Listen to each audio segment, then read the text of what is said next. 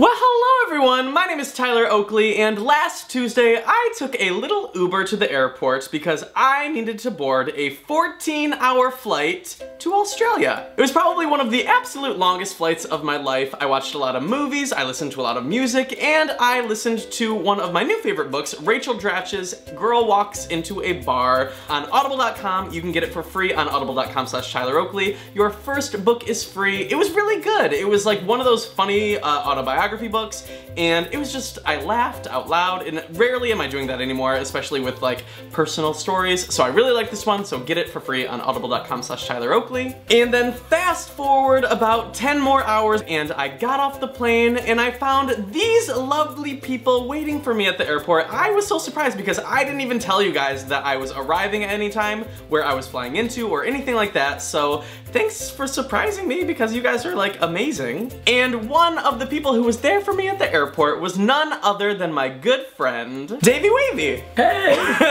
I've lost my voice though. He's dying. He has been on a world tour, so how long has that been? Uh, 30 days. In how many cities? Eight. So this is the last stop. So I met up with him here in Sydney and we got into a lot of, trouble. Trouble. Debauchery. Debauchery. Oh wait, I should put my, my flower crown on. That's what they do, right, in your videos? Is what people Of course, no, it's beautiful. Okay, now do I fit in? Yeah, you're, the people love you, I'm sure. Okay, good. So we headed on over here to this hotel and checked in and then immediately headed over to the Sydney Eye Tower and tell them what we did that you were so afraid of. Okay, it wasn't, it wasn't my shining moment. I'm a little bit afraid of heights mm -hmm. and it's like 70 or 80 stories. It's very tall. You walk on a glass floor. Whoever designed that But it's, it's not just any glass floor because you see everything below you for like 70 stories. And it's, it's windy. And it feels like you can be blown off the side of it. And you, you're just a but then, peanut. I am just, a like, peanut. blowing away, in the wind. but you're like attached to the building, so. It was amazing views, but I will never do that again. And then we went on a little date night and got some conveyor belt sushi over in Oxford Street, which was absolutely delicious. Sushi always tastes better on a conveyor belt, Truly. doesn't it? It does. When it's coming towards you, there's no other way to accept food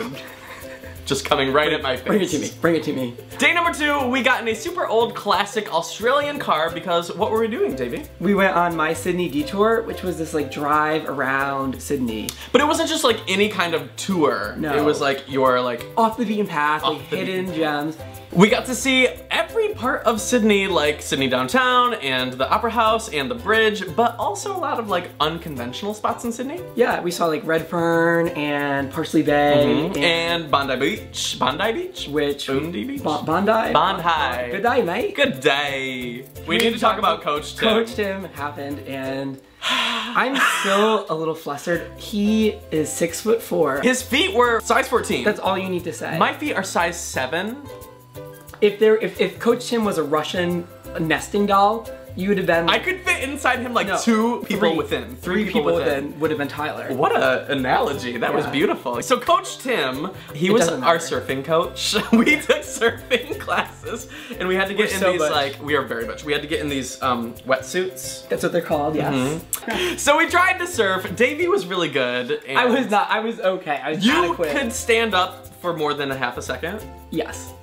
I, on the other hand, but like, whatever, it was really fun. We learned to surf in I, Australia. That's like bucket list stuff. Done. Right there. Check. Done. And then the next day we had a little joint meetup in Hyde Park. Um, one. Yeah, it was a little tiny one. Just barely six and a half hours. We planned on noon. We had a, a feeling that people were probably there early. And so we thought, okay, we should go early. So we went at 10 and there was probably, how 100, Probably 100 people. 100 people waiting already. So we were like happy that we went that quickly because then we were able to get all the people that were there first um, in an orderly line and got to meet them. And they were them. so sweet. Everyone so nice. was like so nice, but it was a really good meetup and we got to meet probably a thousand of no, you? it was more. More than a thousand of you. And I got so many gifts from you guys. You guys are like, it was like Santa all up in this bitch. It was I, diabetes Santa. This is how many Tim Tams you guys gave me. I have not had Tim Tams yet, but I feel like after today, I will have had way too many. So thank you.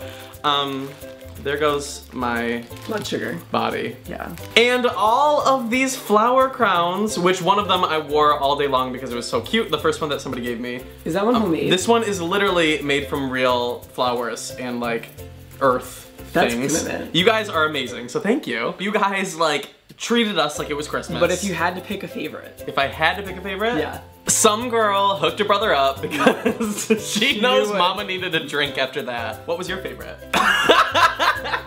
Somebody gave him booty shorts. Excuse you. But for the most part, the meetup was amazing. So if you came, thank you so much. Be sure to tag us in any pictures that you took because we are stalking you. You guys were them. so cute. You guys are amazing. I'm gonna put some of the, my favorite pictures with you guys on my Facebook page, so the link will be below. And then today, what did we do? we went sailing on the Sydney Harbor. It like our so own beautiful. private little sailboat. And we got to see the opera house and go under the bridge, and it was just so cute and amazing. And it's like I feel like that was the absolute best way to see the most epic landmarks of the city. Absolutely. So that is all for Davey's time here in Australia. Tomorrow, Davey flies home back to LA. Yes. I will miss happening. you. I will miss you too. Um, but I am here for another week, so if you want to see what I am up to for the rest of my time here in Australia, be sure to follow me on Instagram to see a whole bunch of pictures, or Twitter to see a whole bunch of tweets. And if you want to know uh, the rest of my trip in a video, I might make a whole video about it. If you push the like button and let me know in the comments, maybe I'll do it. Um, but we also filmed a video over on Davey's channel. Tell them what we did. So people often ask us, how do you know if you're gay? We decided to make a video with what? 25. We made a master list. These are the most uh, specific ways to know if you That are is a very nice way of putting it. one of us. um, so go check it out, click his face, or the link will be below. And while you're over there, be sure to subscribe to Davey because his videos are amazing. I blush. He, no, you're amazing. So go watch all of them. I adore him. Uh, but that is all we have for you guys this week, and we will see you next time. Peace out. Later.